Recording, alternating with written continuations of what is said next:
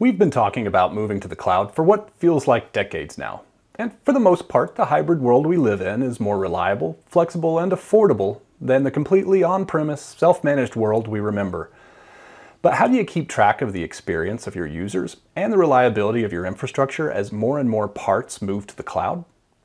I'm Matt Bolick, one of the technical marketing engineers at Fortinet, where our FortiMonitor solution offers a complete picture for all of your assets and user experiences, both on-premise as well as in the cloud. You see, FortiMonitor itself is a cloud-based solution with data centers spread around the globe. That makes it ideally situated for monitoring your cloud infrastructure and application deployments. We can natively monitor Kubernetes and Docker deployments as well as dedicated instrumentation for major cloud providers and combine those metrics with measurements taken across our public and private infrastructure. Let's take a look at FortiMonitor actively monitoring a production environment. Here you can see a Kubernetes cluster hosted in a public cloud, although this could just as easily be running in a private cloud. That flexibility is one of the advantages of a portable container infrastructure like Kubernetes and Docker. Here you can see that we have a high-level view of the overall health of the cluster, as well as specific status and resource usage for the resource pools and containers hosted within it. Just as with other monitored resources in FortiMonitor, we have the same rich event, alert, and countermeasure architecture, which means you get a holistic view of your public and private infrastructure, as well as user experience, without having to go to multiple tools. That single pane of glass monitoring only works if it can provide views into multiple cloud providers. Many organizations grow organically through mergers and different departments making their own choices. The result is a mismatch of multiple cloud providers and architectures. That's not a problem for FortiMonitor, with native connectors for both AWS and Azure, as well as the ability to instrument Google Cloud workloads with synthetic monitoring and agents.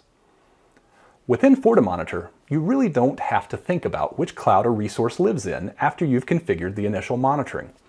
It's straightforward to add native monitoring to your cloud instance, which then discovers the resources and containers running there. In fact, the cloud monitoring summary pages show all kinds of our resources across all clusters and cloud providers all in one place. We can naturally drill down if we're seeing problems with a particular provider, but having a summary view for all providers in one place on our infrastructure dashboard lets us quickly see problems and narrow down to the root cause. Finally, a cloud monitoring solution only works if it's as flexible and dynamic as your cloud infrastructure. FortiMonitor native connectors automatically discover new workloads as they're added to a cluster, so we automatically pick them up in our monitoring.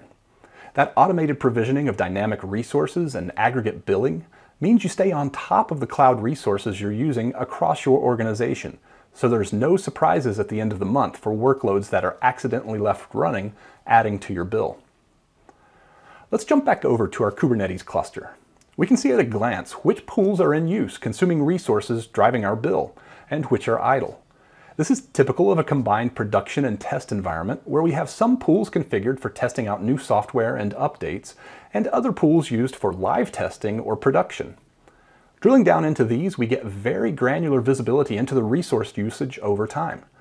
Of course, we can create events and incidents based on anything we monitor, so it's really easy to set an alert for resource consumption, giving us an early warning when there's time to do something before a surprise bill hits us at the end of the month.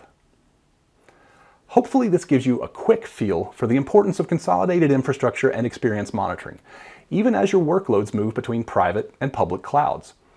Bringing this data into a single pane of glass helps you quickly identify and solve complex problems, as well as letting you stay on top of the dynamic nature of cloud workloads, avoiding any surprises at the end of the month in the process. For more information, or to experience FortiMonitor yourself, visit us at fortinet.com slash products slash FortiMonitor.